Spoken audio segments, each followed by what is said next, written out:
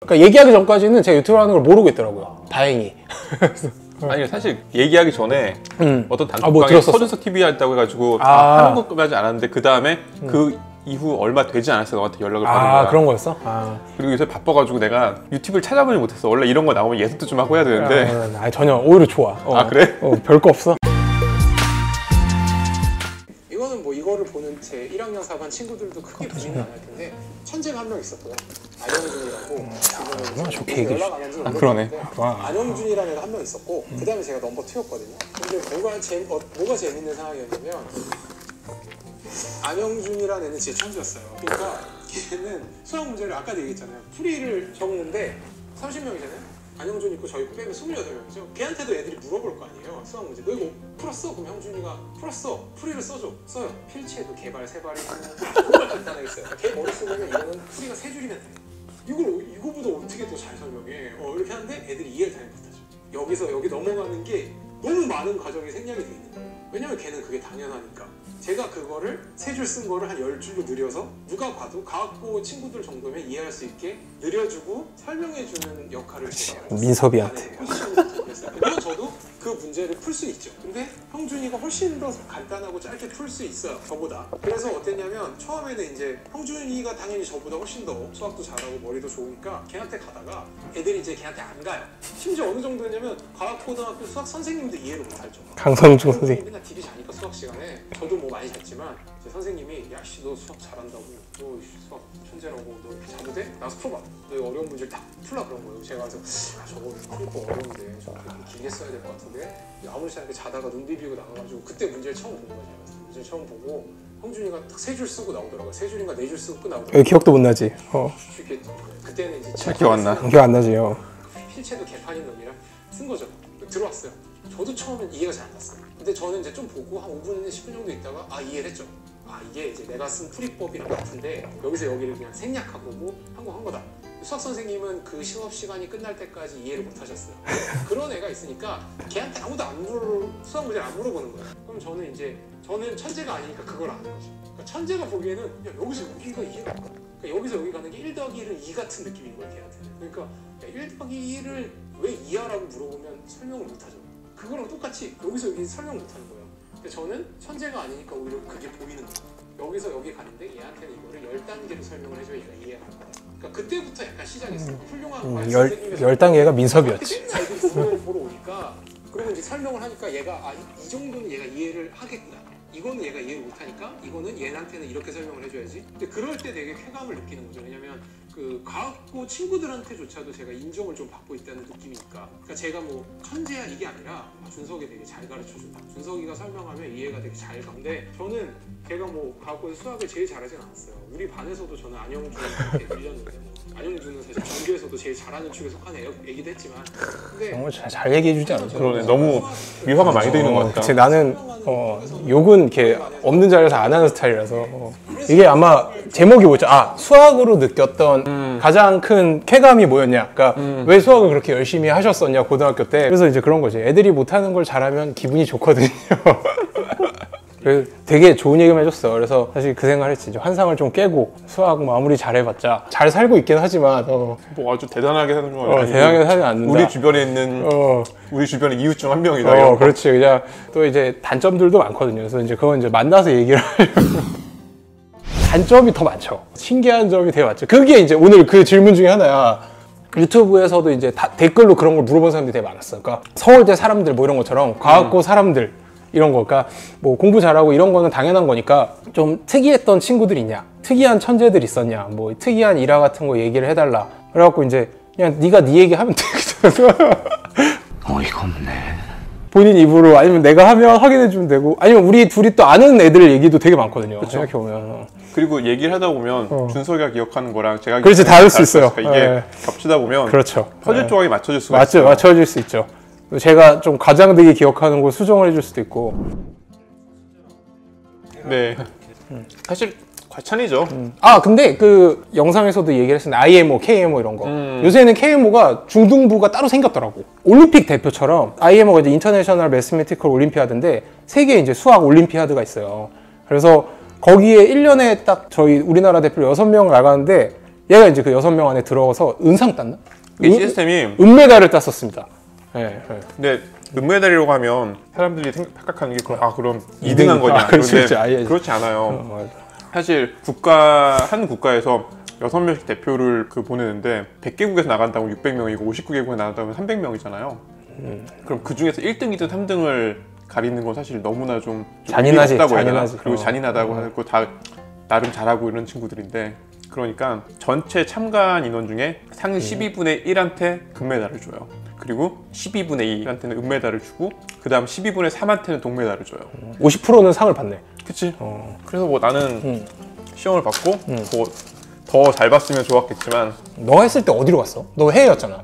루마니아. 아 맞다 맞다 루마니아 갔다. 음. 그 카드 사왔잖아. 어, 아 너도 봐- 너도 아 그때 카 쳤잖아. 어, 그때 막 그때 어. 지금 생각해보면 별것도 아닌데 저희 이제 트럼프로 하는 Mighty라는 그 그러니까 뭐 포커 뭐 hold'em처럼 저희 아버지 세대 때 서울대에서 막 Mighty를 저희는 되게 좋아했었거든요. 한 20년도 더 옛날 카드인데 그게 머리도 좀 써야 되고 암기도 해야 돼서 그래서 트럼프를 그러니까 그럼 보통 루마니아 같은 데 가면 좀 더 좋은 거 사오고 이래, 이럴 수도 있는데 트럼프 사 그 주지도 않았어 그냥 게임할 때 같이 카드 칠 때 보여주는데 너안 좋냐? 줬을 텐데. 아 나 줬나? 아 왜냐면 내가 그때 없었잖아. 아, 그래서. 바로 넣어. 그래서 어. 나중에 카드 칠 때 보여주는데 그게 너무 부러운 거예요. 어린 마음에. 어 맞아 맞아. 근데 그 그런 데 가서도 루마니아 뭐 이런 거 사오는 게 아니라 트럼프 사서 보여주고 막. 어. 루마니아에서 제일 유명한 것 중에 하나가 관광 상품이 그 드라큘라. 그래, 루마니아 맞다, 맞다. 아, 그러네. 아마 드라큘라 그려진 카드 같은 거 사오지 않았을까 싶어. 음, 너안 줬구나. 되게 미안해진다. 음, 아니야 아니야. 그때 그. 그 계절학교 때 아 계절학교는 너 나가기 전이고 어. 맞아 그때 이제 대학 붙고 나서 그때 막 겨울 방학 때 카드 치고 그럴 때 그때 열심히 자랑을 했지 그때 다 주고 나서서 어. 근데 기억났다. 그 래프팅 하러 갔던 거 기억나요? 대학교 1학년 때? 그 입석해가지고 나 그 다음에 할 얘기 많은 게 그것도 그렇고 어 래프팅 먼저 해. 아니야 너 해봐. 일단 먼저 해봐. 내가 지금 나 들을 래프팅 전에 생각하는 게 저거야. 너희 집에 그 콘도 같은 게 회원권이 있었나? 아 용평, 용평. 어, 용평. 어, 그렇지. 거길 놀러 가자 그래가지고 그냥 카드 아, 아니야. 하던 아, 용평에 회원권이 있었고 어. 그때는 거기였지. 베어스타운. 아 베어스타운 맞아 베어스타운이야. 아그 얘기 하려는 거구나. 아, 그래서 그렇죠. 예. 아, 베어스타운 아, 거기 놀러 가자고 해서 미치겠다. 음. 애들을 모았는데 다 스키나 이런 것들에 대해서 별로 관심이 없고 카드 치고 이런 걸 노는 걸다 좋아하는 친구들이에요. 그 에모 저희 동아리 네. 고등학교 동아리 친구들 수학 올림피아드 어. 하고 카드놀이 하는 거 좋아하는 어. 그런 친구들인데 그래 결국 갔어요. 버스를 타고 같이 가가지고 음. 이제 그 방문을 열고 들어가자마자 바로 이제 판을 펼쳤죠. 음. 사람이 한 8명인가 그랬던 어, 것 맞아, 한쪽에서는 트럼프 카드로 Mighty라는 카드 게임을 하고 한쪽에서는 고스톱 치기 시작하고 음, 맞아, 맞아. 그래가지고 음, 5 플러스 3으로 그래서 이제 카드 게임을 하고 있고 이제 그거를 그냥 하면 재미없으니까 돈을 건데 학생들이 돈이 없잖아요. 달력을 어떻게 찾아가지고 쭉 찢은 다음에 거기 다 달력이네 벽지였냐? 그러니까 그런 거죠. 이제 그 콘도를 이제 저희 아버지가 지인분 통해서 얻어준 거였어요. 그래가지고 이제 뭐 숙박비는 안 내도 되고 이러니까 다들 대학교 그때가 2학년인가 3학년쯤이었는데 돈도 없고 대학생이니까 뭐 그래갖고 갔는데 이렇게 한쪽 벽이 벽지가 이렇게 뜯어져 있는 거죠. 그래가지고 이제 처음에는 달력 같은 거로 이런 이런 이런 여기다가 이제 다섯 명 이름을 적어요.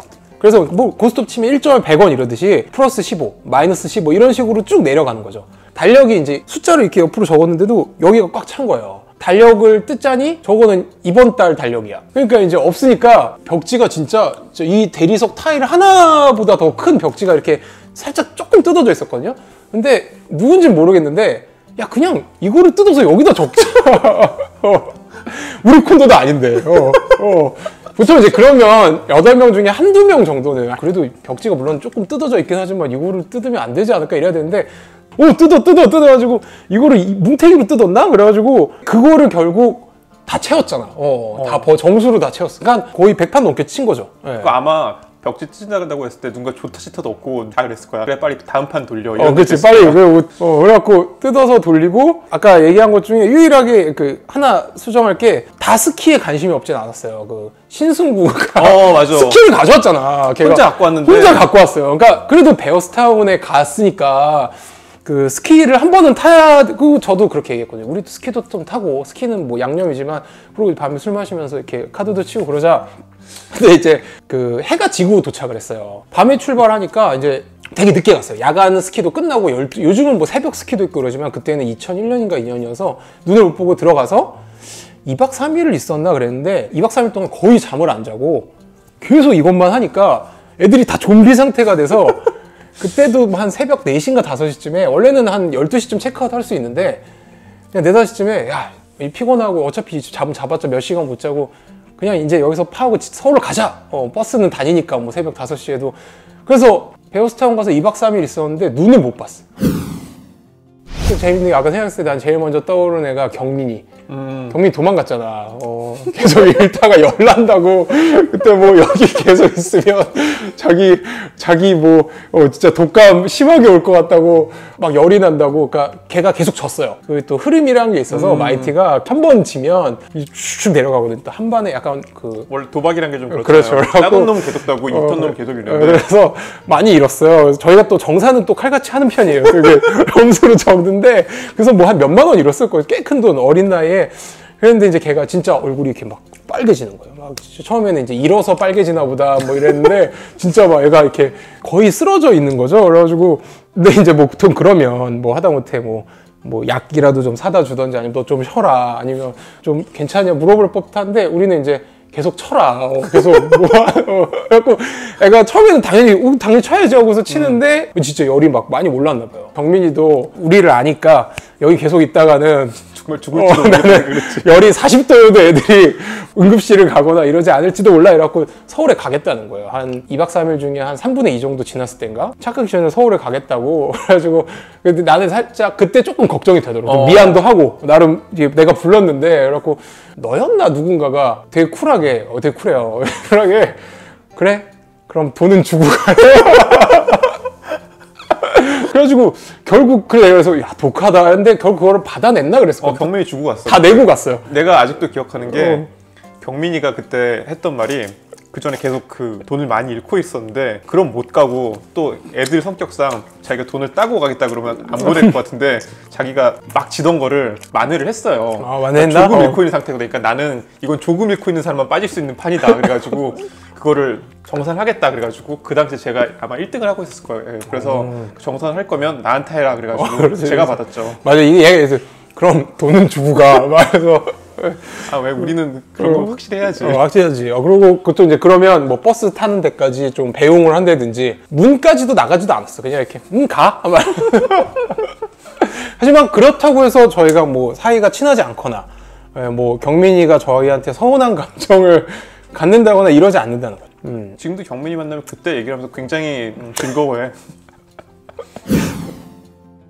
아 경민이 경민이가 난 이제 의대를 갔으니까 어 그래갖고 경민이가 아주 그냥 어, 의대에서는 뭐 수석 졸업에 음. 어, 막, 어, 지금 이제 서울대 그 교수로 난 사실 지금도 제일 연락 자주 하는 친구 경민이야. 아 그래 왜 왜 어떻게 경민이가 어. 아까 교수잖아. 어 걔가 논문을 쓰려고 하는데 안구에서 어. 어. 떻게 눈이 약간 이동을 한다던가 그래서 중심을 찾고 중심이 어떻게 이동하나 뭐 그런 어. 걸 해야 되는데 음. MRI 같은 거 사진을 찍었을 때 어. 중심을 잡는 게 쉽지가 않은데 어. 내가 그럼 그걸 이거를 뭐 수학적으로 어떻게 타원 형태를 만든 다음에 그 중심을 어. 찾자 그래서 같이 하고 있거든. 아, 그래서 그러니까 경민이가 너한테 먼저 연락이 온 거야 그러면 아니면 아니 술자리에서 그냥 얘기하다 어. 요새 뭐 하냐 해서 그 얘기하다가 어. 뭐 어, 이렇게 하면 되지 않을까 해가지고 아예 그러면 일을 같이 하자고 해가지고 지금 가장 최근에 논문 드래프트 보냈거든 어. 그래서 그냥 야 그럼 너도 공동 저자로 올라간 어, 거 나- 아니야 어, 나 공동 어. 공동자로 올라가. 저희가 이렇게 저희의 추억 속에는 되게 힘들었던 아이로 남아 있지만 어, 서울대 의대 수석 졸업과의 교수 그때 그때- 열심히 잘 사는 친구예요. 어, 그때 돈 받고 보내줬으니까 음, 어, 그럼. 의대 무사히 졸업할 수 있었지. 어, 인재를- 그때 못 갔으면 어, 앞으로 그때 고열로 어, 힘들었을 수 있어. 그때 되게 힘들어 보였거든. 아 그래서 그때도 이럴 거면 그냥 서울에서 모텔을 잡고 왜 베어스타운까지 가가지고 거의 포천인데 스키도 못하지만 눈도 못 보고 왜 왔을까? 그래서 생각해보니까 틀린 말이 아닌 거지. 어, 우리가 왜 버스까지 타고 여기까지 와서 근데 지금 생각해 보면 어. 서울에 술 먹는 게 아니라 그렇지, 그렇지. 물 좋은 데 가서 술 먹으면 좋잖아. 아, 왜 얘- 얘가 그런 얘기 했어요. 그때도 그래도 공기가 좋잖아. 막 이러면서 막 되게 이런 게 되게 그런 거예요. 그러니까 저는 과학고 다니고 공대 다니고 의대 다니고 치대 다니는데 서울대 공대 의대 치대 때도 이런 친구들이 없어요. 제가 이렇게 행동을 하거나 생각을 하면 되게 이해가 안 된다는 표정으로 보거나 아니면 좀 특이하다는 그런 인식을 주는데 이제 이런 에모 친구들은 약간 그런 거죠. 그러니까 그 제가 그냥 소위 말해서 필터링을 안 하고 행동을 하거나 얘기를 해도 이렇게 크게 저를 안 좋게 보지 않아요. 아까 쿨하다는 게 사실 어떻게 보면 나쁜 의미일 수도 있는데 저는 사실 되게 좋게 보는 게 그러니까 되게 바운더리가 넓어요. 그런 거죠. 다름을 되게 인정을 해주는 거죠. 네. 가장 좋게 표현하면 그렇게 어, 그렇지, 그렇지. 가장 좋게 표현하자면 진짜 그게 맞아. 그러니까, 그러니까 나랑 제가 다르다고 해서 그게 틀리거나 뭐 잘못되거나 이상하다고 생각하지 않아요. 서운해하지도 않고. 형준이도 그랬을 수도 있는데 저는 사실 에모 애들이랑 있을 때가 제일 편했어요. 예, 지금도 그럴 것 같기도 하고. 그러니까, 맞아. 근데 어, 노는 사람마다 어느 친구들과 함께 노냐에 따라서 노는 분위기가. 수준이 다르잖아요. 어. 그런데 준석이가 말한 것처럼 그렇게 노는 건 저도 아까 말했던 에모 친구들이 유일해요. 그렇죠. 그러니까 이게 두 가지예요. 그러니까 형준이나 저처럼 그러니까 아는 거죠. 그러니까 여기서는 좀 boundary를 넓게 가져가고 내가 좀 편하게 해도 크게 상관이 없으니까 여기서는 이렇게 놀지만 다른 데서는 예의나 이런 지킬 것도 지키고 하는데 이제 이런 거를 예를 들어서 뭐 이름은 당연히 얘기는 안 하겠지만 사실 고등학교 때하고 대학교 1, 2학년 정도까지는 좀 걱정되는 친구들도 있었거든요.